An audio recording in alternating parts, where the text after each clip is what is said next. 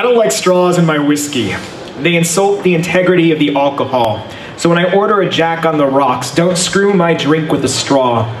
I want to feel the glass on my lips as I choose whether to sip, sip sparingly the stinging nectar or heedlessly guzzle down its burning taste.